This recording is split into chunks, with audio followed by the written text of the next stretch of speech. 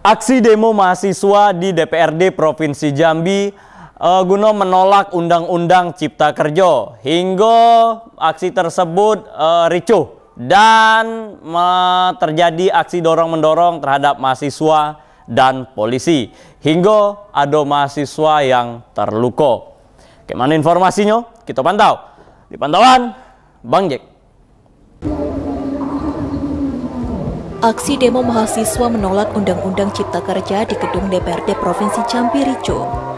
Mahasiswa memaksa masuk ke gedung DPRD Provinsi Jambi hingga terlibat aksi saling dorong dengan polisi.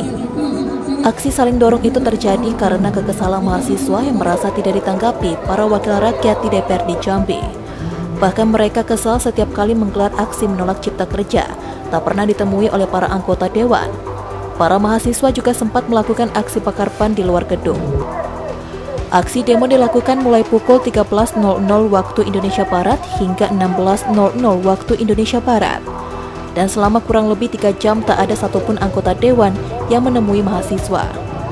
Kericuhan terjadi setelah sebagian mahasiswa memaksa menerobos blokade polisi.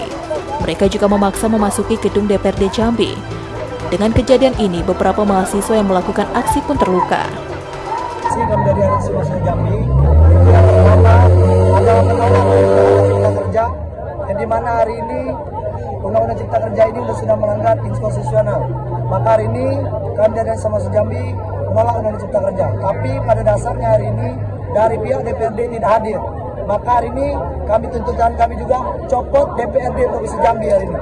Dan kemudian tuntutan kami juga hari ini bagaimana tindakan represif pihak kepolisian maka dari itu banyak sekali korban dari pihak mahasiswa hari ini maka dari itu kami meminta copot Kapolda karena tidak becus dalam mengurus pengamanan masyarakat hari ini dalam menyampaikan aspirasi.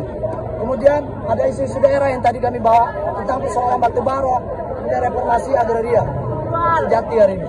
Mungkin itu terkait tuntutan kami hari ini. Yang bocor, pecah dan sebagainya macam. Mungkin dari pres saya salah satu itu dipukul di dalam. Dipukul itu baik dari aparat, bahkan ada dari pihak-pihak ASN dalam juga ikut memukul kawan-kawan saya. Kami sudah menandai beberapa nama dan itu nanti akan kami bawa advokasikan di Polres atau Polda. Heru Syaputra, Cek TV, melaporkan.